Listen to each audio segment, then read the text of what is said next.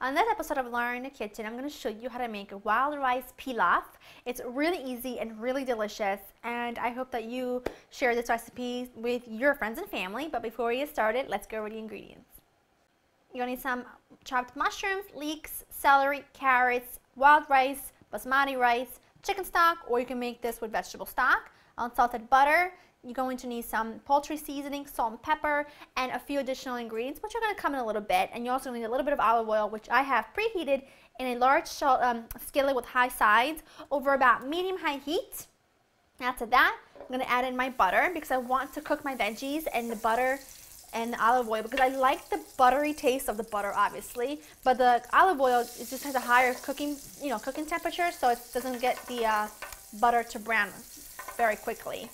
So as that melts, I can pretty much add in my veggies. This is going to be so good, and I have a few additional ingredients I'm going to put on this at the very end to make it really festive and really delicious and give it texture and flavor, of course. Now, to my veggies, I just want to season them with some salt and pepper.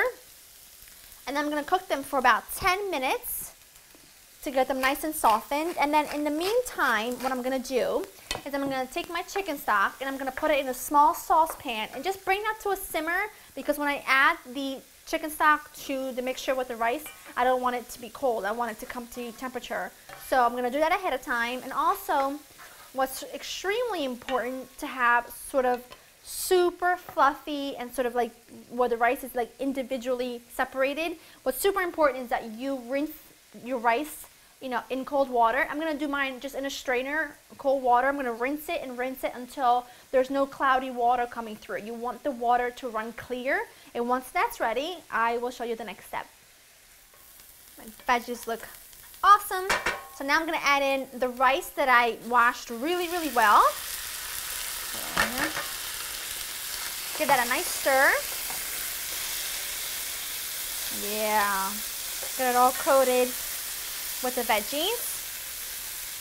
And then I'm going to pour in the chicken stock that was simmering in the back burner. You can make this completely vegetarian by, you know, using vegetable stock instead of um, chicken stock, and that'd be really lovely as well. And a good stir. Add your poultry seasoning. This gives it so much flavor. There's thyme, there's sage, there's rosemary, there's tons of herbs in there that is just going to infuse this like you wouldn't believe. So now, bring to a boil, which it is, turn this down to low, cover it, and mine's going to cook for about 25 minutes. Just read the instructions on your package, you know, of the wild rice that you've purchased because they do vary such a lot. So you want to make sure that you cook it for the right amount of time. This is going to go for about 25 minutes and I'll show you what it looks like once it's done. My rice mixture cooked for about a half an hour and I'm just going to fluff it with a fork. Looks so good. I've been tasting this quite a bit, so I know it tastes just right. I'm going to put in some fresh chopped parsley, and now make sure that you do taste it for seasoning because if you feel like it needs a bit more salt, then you just go ahead and add it. That looks good. Just going to put this right in my on my platter.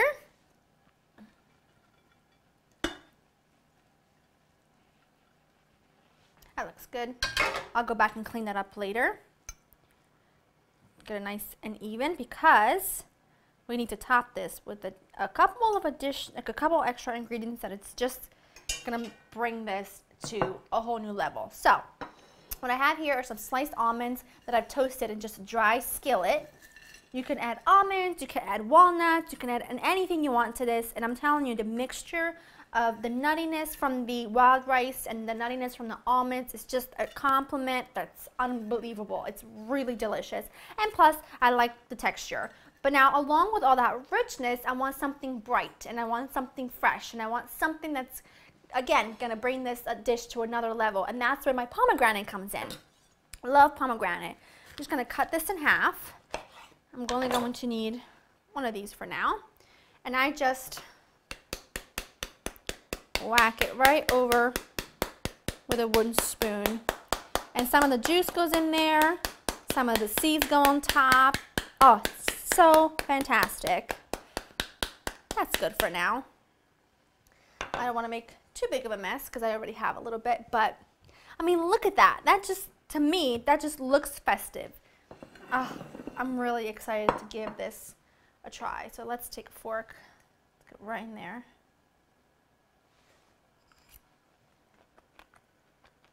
Mmm. Mmm. That is one of the best side dishes in the world. Mm.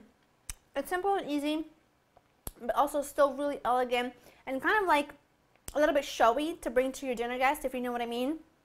It's like, ooh, look at me with this fancy schmancy thing. I hope you enjoy spending time with me. Go to laurainthekitchen.com to get this recipe because it would be perfect as a side dish to your holiday table. I hope you enjoy spending time with me, and I'll see you next time. Bye-bye.